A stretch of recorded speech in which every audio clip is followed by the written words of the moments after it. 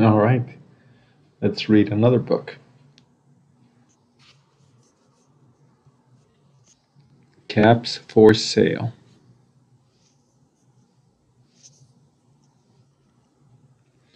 Once there was a peddler who sold caps, but he was not like an ordinary peddler, peddler carrying his wares on his back. He carried them on top of his head.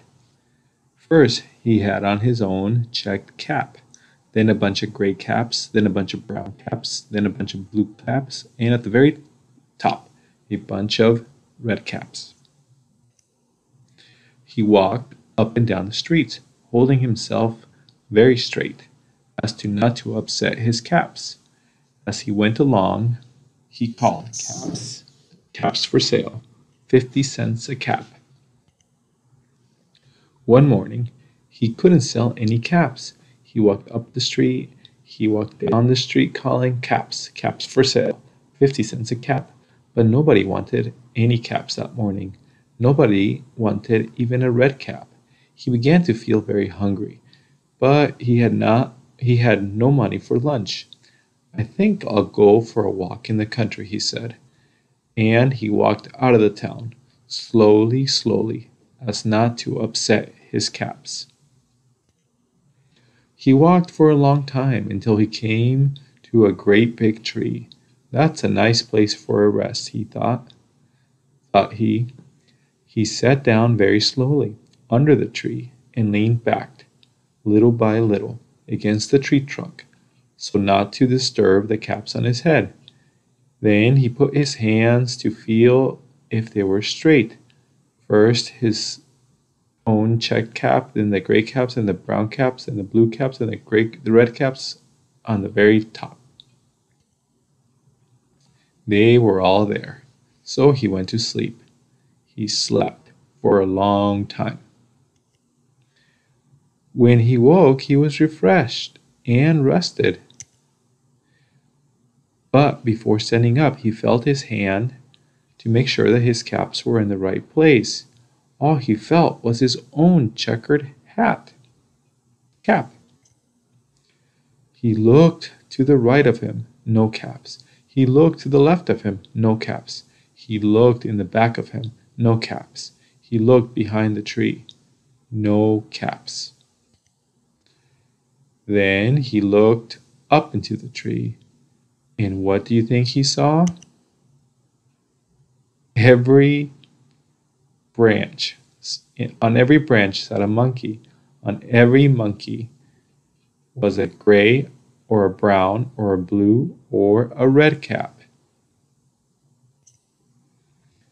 The peddler looked at the monkeys. The monkeys looked at the peddler. He didn't know what to do.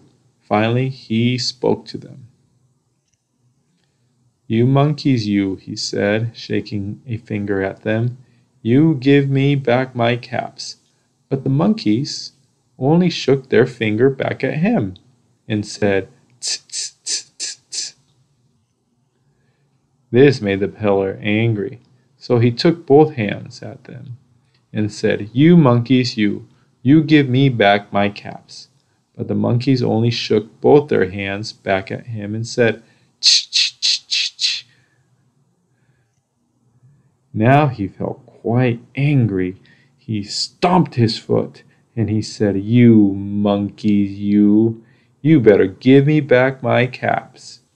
But the monkeys only stomped their feet back at him and said, tss, tss, tss,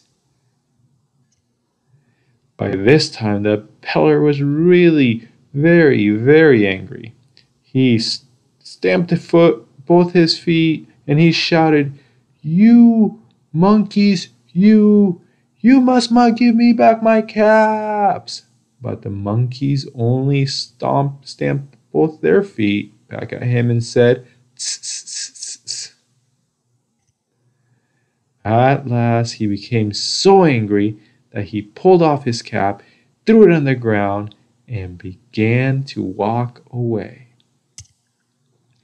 But then each monkey pulled off his cap all the gray caps, all the brown caps, all the blue caps, all the red caps, and they all came down flying out of the tree.